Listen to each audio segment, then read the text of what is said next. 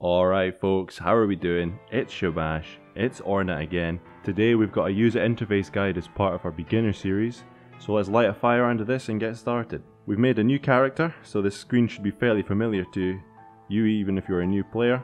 And immediately we've got the world map view, so let's go from the top, what can we see?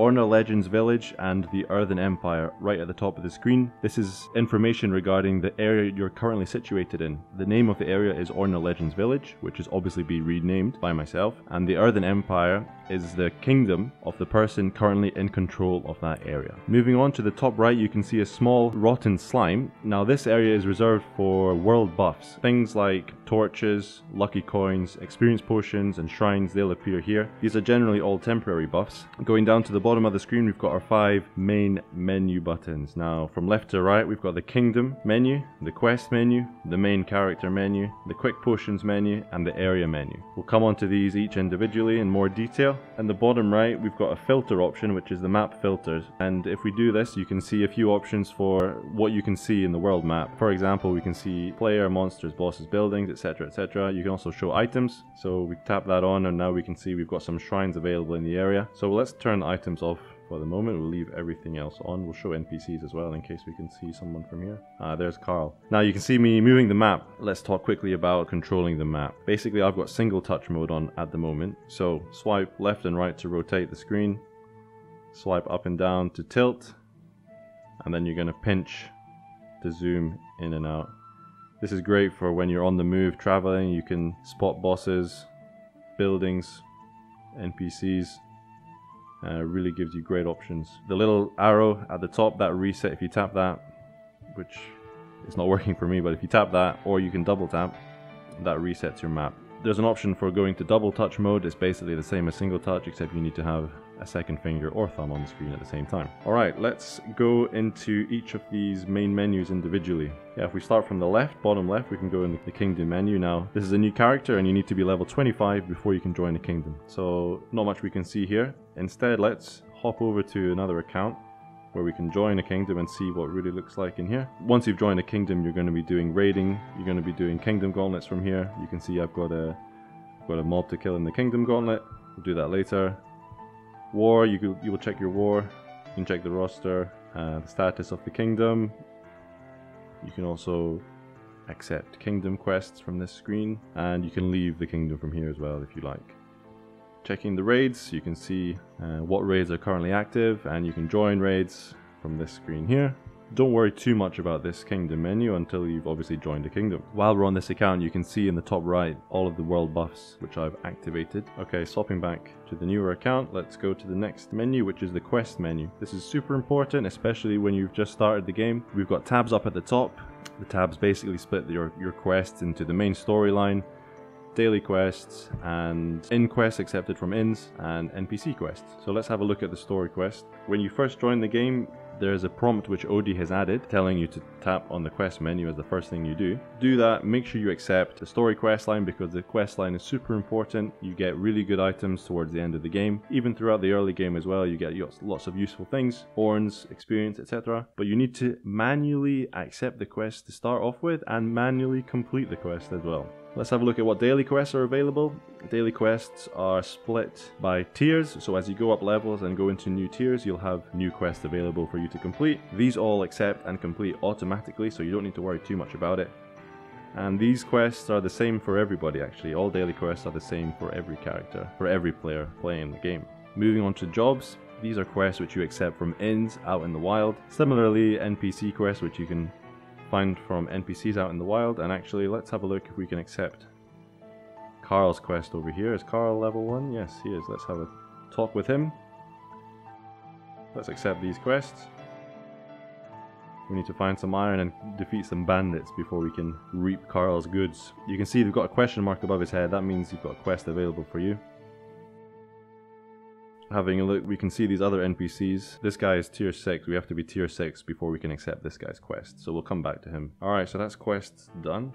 I'm going to leave the main character menu to the end. Let's move on to the quick potions menu. From here you can quickly use any potions out in the out in the world. You can use your lucky coins, experience potions, etc. from here as well. Let's fire up a torch. We can see the auto button here. This is basically the auto heal function. You hold that down for a second and that will automatically take you to maximum health and mana using your smallest potions available. Really important tip. You don't need to be in this screen to use the auto heal function. What you can do is long tap the potions menu at the bottom and that actually uses the auto heal function straight away. So that'll save you a tap. Next one we've got on the far right is the area menu. So as you're traveling around you'll be checking into the area to see what's available and immediately what do we see? The name of the area. We can cycle through using the arrows and these will show local areas that we can see nearby but you won't be able to interact with any area unless you're within 250 meters of the area. Let's quickly go through this, this main area screen. We can see the income. Now this relates to whether you've conquered the Guardian or if you've taken control of the area. And then checking out the influence. Now this is related to the person currently in control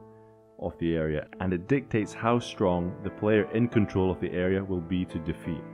Influence is factored by the surrounding areas nearby. Now, Duke influence means if the same person's got lots of areas nearby, they're going to have increased influence, they're going to be stronger. Same goes if it's the same kingdom around and if they're the same faction. Make Origin Town, super important. You want to make Origin Town in the area where you're going to play the most. If that's at home, like I guess a lot of people at the moment during COVID-19, let's do it on this character. Change Origin Town, yes. Now the Origin Town bonus gives you a 10% multiplier to all your stats. Really, really good. You have to be situated in your origin town to get the bonus.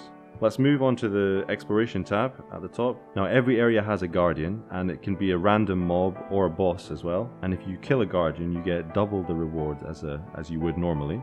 This also stacks with experience shrines, orn buffs, etc etc. But the difference with guardians is that you'll likely have some detrimental battle conditions affecting your character before you go into battle. Well, as you battle, making the fight slightly more difficult. These are a great source of experience and orns as you're traveling out and about, especially when you level up and you can kill more powerful enemies. Okay, moving on. Alright, the control tab basically shows you who is in control of the area. This is the main PvP augmented reality function in Orna. It's one of the reasons I love this game visiting new areas, trying to take control of new areas. Actually, we've taken control of this area. Now, we haven't really, but because we've set the origin town to ourselves, we're going to look as if we are in control of the area. In fact, we're not. It's actually my other account, but we'll come on to that in another video. This is the screen where you'll be fighting for control of your areas.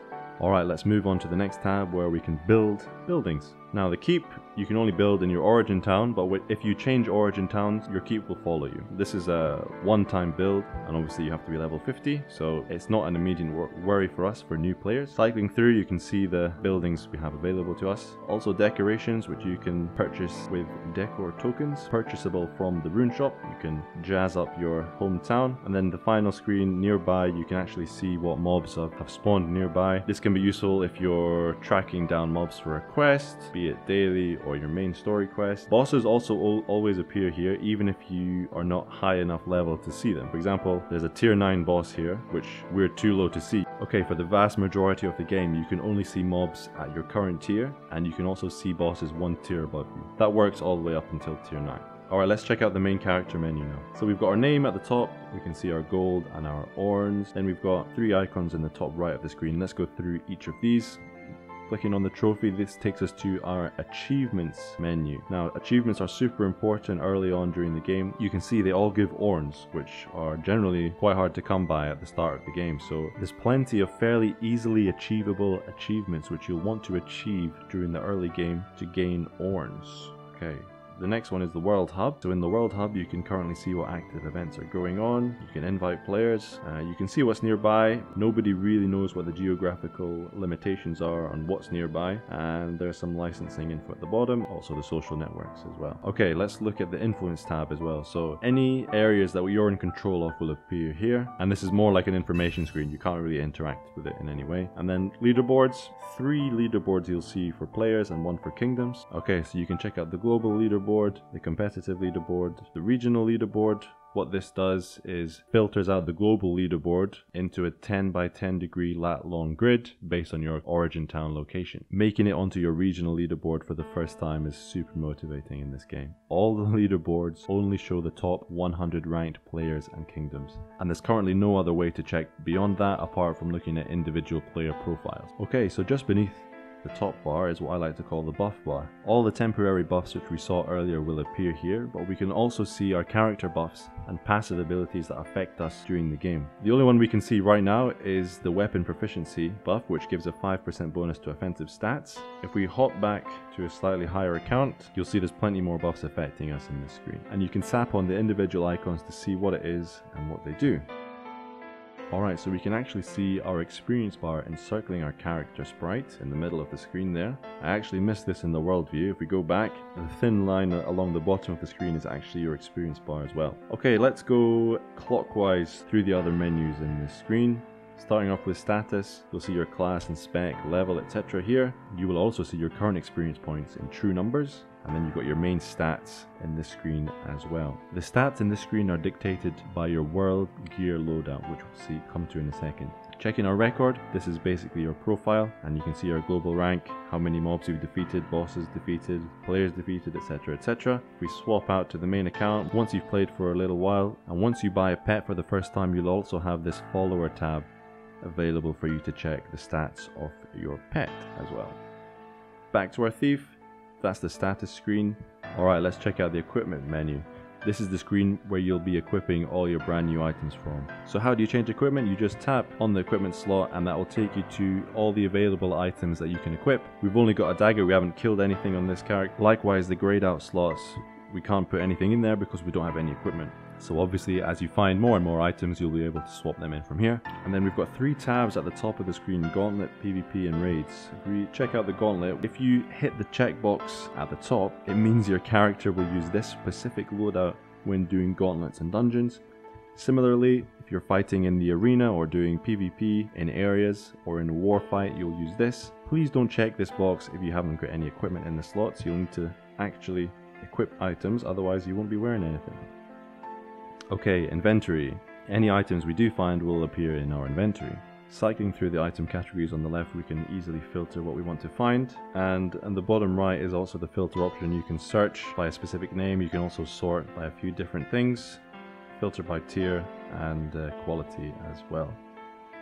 Alright, so let's go through the gameplay options. There's a few obvious ones, but I'll just point out the ones that I like to have on.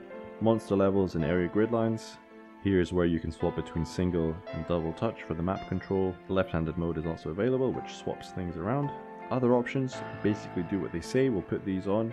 Auto dismantle we can talk a little bit more about. Any equipable gear piece can drop from broken all the way up to ornate quality, and these qualities affect the item's base stat. Now when you're starting out, I don't recommend having this on, because you're going to be finding gear upgrades very regularly. Further on in the game, you can change this around. So let's turn that off. Alright, moving on to the graphics tab, you can select depending on your hardware. We can then reduce or subsequently increase eye strain. Let's turn that off. Disabling animations apart from doing what it says on the tin will actually also increase the speed of your fights. And I like to keep weather animations on. Moving on to the notifications tab, the main thing player notifications do is tell you when gear is finished upgrading in the blacksmith. Once you've joined a kingdom, I'd recommend firing all of these notifications on. It means you won't forget to do your war fights or gauntlet fights, and it might save your ass from getting kicked from certain kingdoms. Okay, and then finally the character tab. We can see some privacy options, so if you click location privacy, nobody will see your character name in the world. You can hide other players' buildings. You can return to the title screen, connect to Google Play Games, or delete your character if you want. Alright, let's check out the rune shop now. Here's the only place you can spend real money in the game, but that does not mean it's pay to win. All the items in this tab are fairly easy to find if you actually play the game. That is excluding decor tokens, which you can use in the area building screen we saw earlier. Next tab is appearance. This is brilliant. You can use any purchase sprite pack with any class in the game special classes. Every class you unlock will have a sprite pack available for you to purchase. You can also purchase special classes. Now these aren't more powerful versions of the base class at all. You're essentially buying these for the sprite, which you can also use with any class. And finally, if you want to buy Odie some coffee, you can do so from here. Once we reach level 10, we can enter the arena and fight other opponents. Each fight costs one arena token. Arena tokens drop from bosses, from mimics, and you can also find them in world shops and also shops you build yourself. These are really easy to accumulate through the game. Your menu gauntlet you can enter once you've reached level 50 and found some gauntlet keys. Again, gauntlet keys are fairly easy to accumulate, they drop from certain bosses. The key cost to enter your gauntlet changes depending on what mode you select. Dungeons you find in the world work the exact same way as your menu gauntlet, except they have their own separate cooldown. And you don't share dungeon cooldowns with other players, only yourself. Alright, next option, party time. You do need to be basically right next to another character in the real world before you can invite them to your party. Okay, let's check out skills, which work in a very similar fashion to the equipment. Once you've leveled up and learned a few skills, you just tap on the slot and you'll be able to equip a skill. Leveling up and unlocking new classes allows you to learn new skills. Any skill that you learn from a certain class is actually equipable across every single other class. Cycling through the Gauntlet PvP and raid tabs at the top again work in the same way as equipment, so don't forget to equip spells, especially if you're a mage. And then finally, let's check out the character menu. It's from here where we can unlock and swap between classes, specializations, customizable sprites, and you can even change your character name as well. You can switch between unlocked classes at any time for free. Specializations, however, do cost orns every time. Each class has some flavor text, but don't read too much into it. The main playstyle is dictated by your skills and abilities. Tap the arrows to cycle between classes. You can unlock every class in the game as long as you have the orns to do so. And as we just mentioned, any skill you learn from unlocking a class is usable by any other class in the game. Aye, so cycling through the classes will tell you any prerequisites you need before being able to unlock them. You can check out the skills you'll be able to learn from unlocking that class and the passive abilities those classes may have while playing as that class. Specializations or your spec is basically your subclass. You'll be able to pay orns to spec into these subclasses once you reach the required tiers. New specs become available at tiers 3, 5, 7 and 9. The important thing to remember though is it does cost orns every time you want to swap between specs. Now your first spec is free, so one tip I like to suggest to new players is wait until you're tier 5, wait until you're level 100 and go in and unlock the Berserker spec first up. Okay, the customize tab. Here you can change your title, your sprite once you've unlocked some, and your gender if you so choose. And you can change your character name from the information screen here. Alright, I know that was a bit of a slog and not very exciting, but I hope I managed to help a few players and explain some new things for them. We've got heaps of beginner series content coming up, so stay tuned, subscribe if you feel like it, give us a thumbs up if you like this video, give us a thumbs down if you didn't. I'm Shabbash, cheers for watching, see you in the next one. Ciao.